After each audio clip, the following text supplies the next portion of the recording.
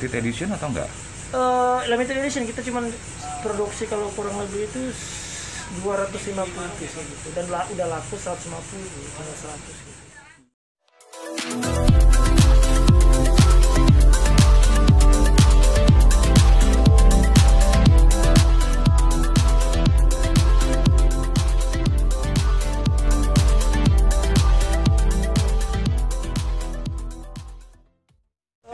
Kalau belum itu belum ada karena bisnis aku pun udah ada sebelumnya ya jadi sekarang jalanin dulu yang ada gitu lebih fokusin aja dulu ke yang ada.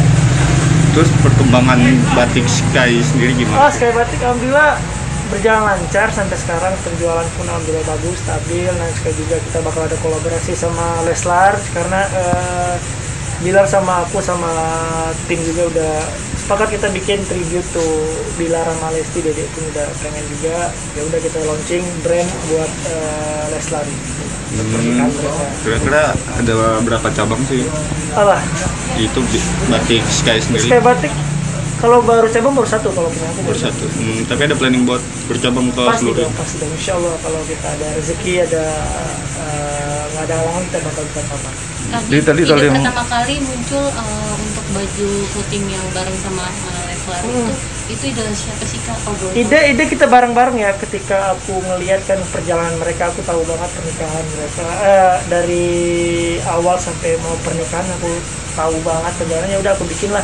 Gimana ya kalau kita bikin eh, baju nih kolaborasi Nine Sky sama Leslar? Ya udah Gil, boleh gini gini kita bikin berapa konsep konsep dan alhamdulillah bisa terwujud sekarang Itu nantinya akan dibuat limited edition atau enggak?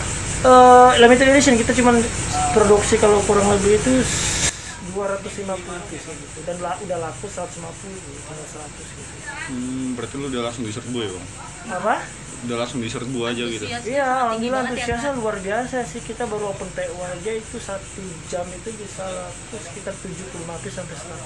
Hmm, Luar biasa ya antusiasnya. Konsep bajunya sendiri gimana? Udah ada, udah ada di website sendiri. Hood, eh crook, crook neck sama kaos biasa. Hmm, untuk pas biasa gambarnya sendiri kayak gimana sih? Nah, konsepnya ya rumah gadang sama gedung sate Bandung karena ada Padang Bilar sama ada ada Dede Sunda.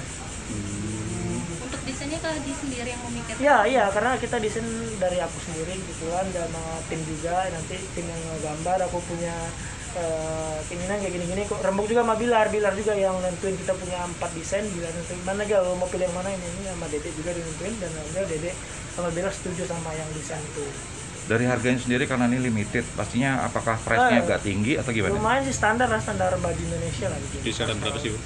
Kalau kaos itu 175 kok. 175 untuk crew naked sendiri Necknya tuh dua tiga tu- tiga tiga ratusan nggak mungkin. Untuk Kak ide ini terpikirkan memang dari Kak Adi sendiri sampai akhirnya uh, karena lagi Leslar ini fenomenal atau bagaimana sih kak kalau boleh tahu?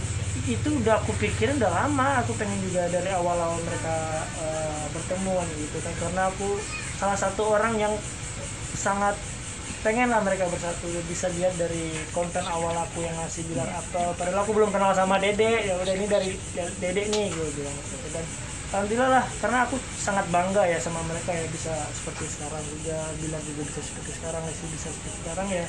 Ya udah terciptalah ide itu di, bahagia mereka nanti. Hmm, mungkin kalau misalnya udah bisnisnya udah gede gitu bang ada planning apa aja sih ke depannya? Planning ke depannya ya belum tahu ya kalau aku sih jalanin aja gitu jadi yang penting terus aja. Jangan lupa ya di subscribe dan nyalakan lonceng notifikasinya.